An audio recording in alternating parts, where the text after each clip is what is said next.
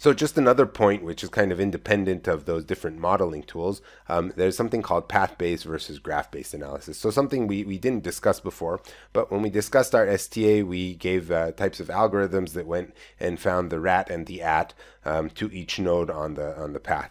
Um, what is actually used in STA is usually something called graph-based analysis or GBA, um, uh, but it provides a lot of pessimism. It takes a worst case, and what we should do during sign off to remove that pessimism is use what is called um, PBA or path-based analysis. And let's see what the difference is. There's a, a, kind of a nice picture here from VLSI expert, and you can see in the in the graph here we have uh, just some sort of a timing path, and we have these two AND gates, and the AND gates each have two inputs. And if you look, we have um, uh, arcs in here, and the arcs can go from like 0.5 nanoseconds to 1.5 nanosecond from A to out, and 0.2 nanoseconds to 1.2 nanoseconds from from uh, B to out. What is done in graph-based analysis, which is what is used basically um, in, in all the timing tools up until the sign off level. What we do is we just merge this. We don't want to deal with all these different arcs that can be falling arcs, rising arcs, and so forth, and several inputs through the things. So what we do is we just merge this. We look for the worst case.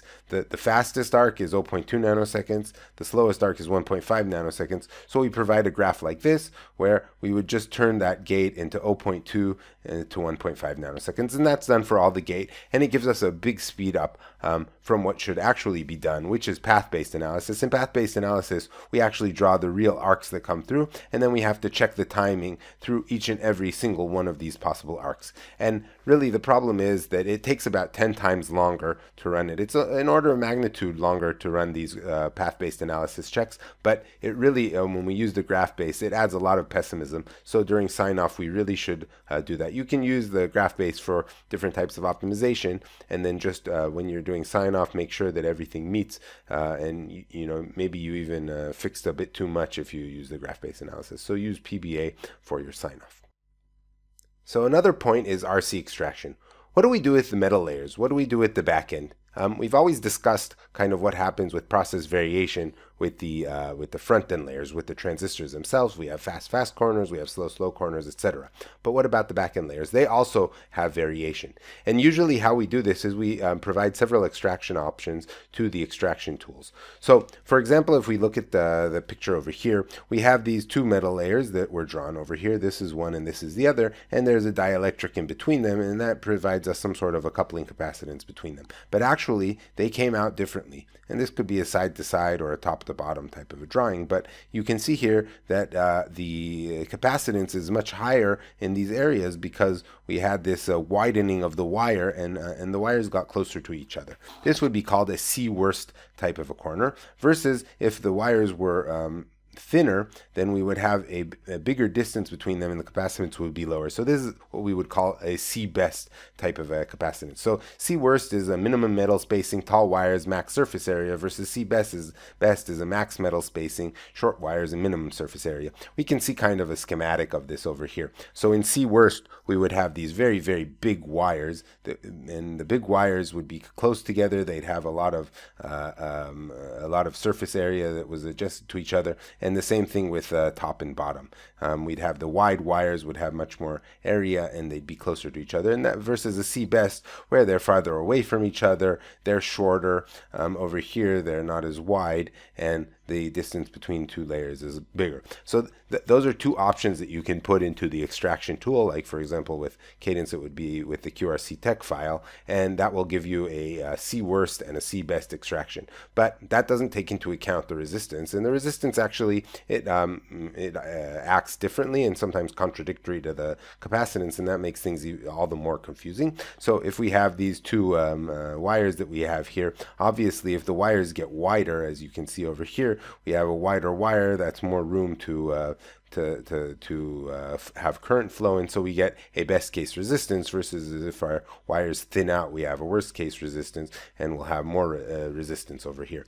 So what happens is we want to have some sort of combination between the resistance and the capacitance, and then the pro, uh, the thing is that we have the opposite thing. When the capacitance gets worse, the, the resistance gets better and the opposite. So how do you make this RC worst or RC best? You can see a kind of a uh, schematic of how it's done over here on the slide.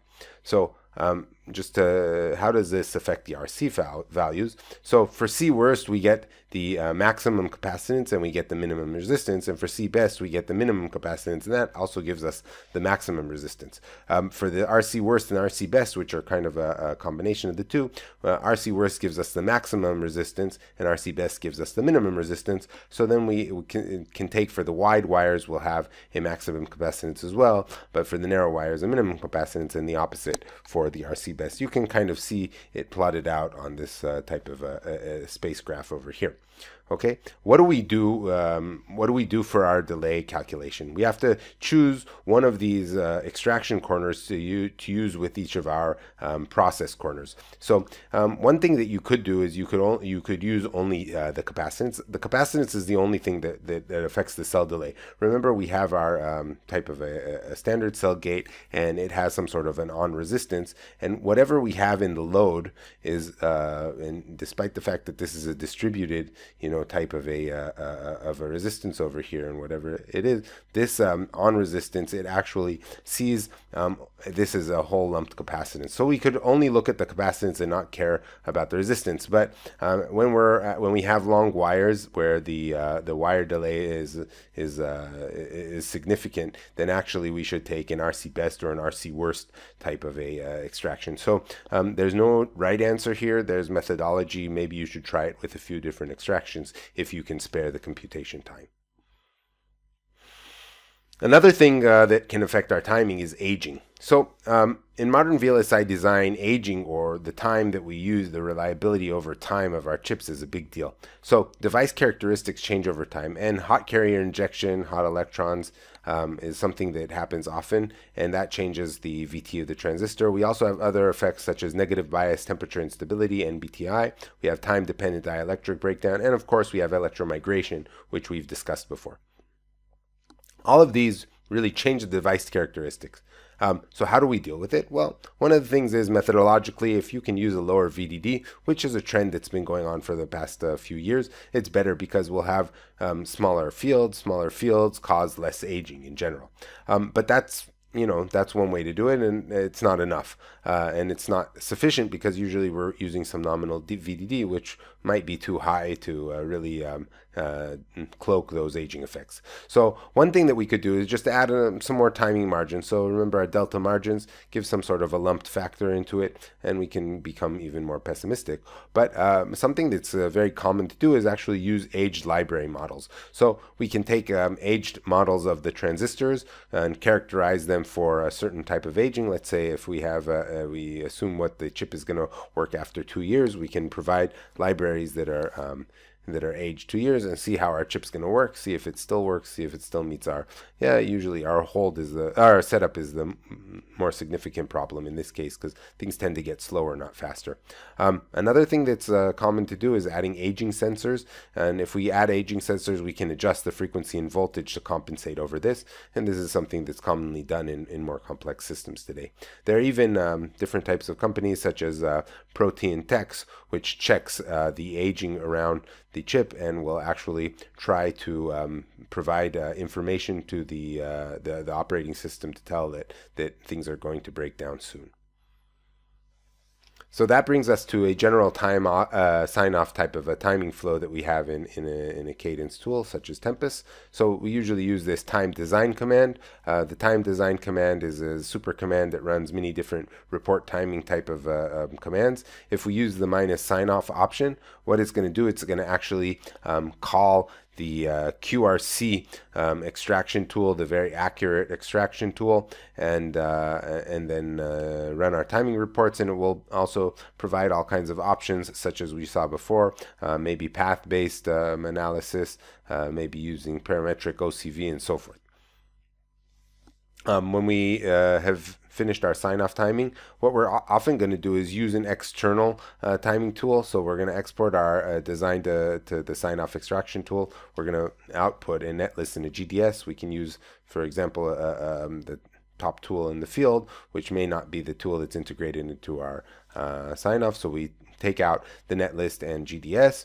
We load um, this into a we we extract it, and we usually get a file that's called a SPEF file, which has the um, information about our timing extraction, about our RCs, and then we can read that uh, extraction into our timing tool, such as read SPEF or whatever corner we want to do it in. Then we can run our static timing analysis in the sign off tool. Um, using the sign off tool, we can do all kinds of things. We can provide an SDF.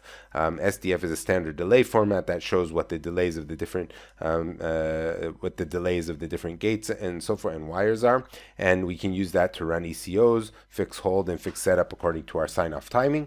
Um, the tools can usually also provide a script that will tell where to put buffers, um, where to change things and so forth, where to upsize different types of cells to try and fix the timing problems. And then we would run this in a loop kind of until we would meet all our uh, all our sign off timing constraints. Um, another thing that we, we could do is we could take that SDF and punch it back into our um, into our simulation tool and run sort of a dynamic timing analysis or gate level simulations with actual delays to see that things uh, are working give us sanity check. We can't do it on everything obviously exhaustively, but we can use some simple te test benches to check that things look like they're working right.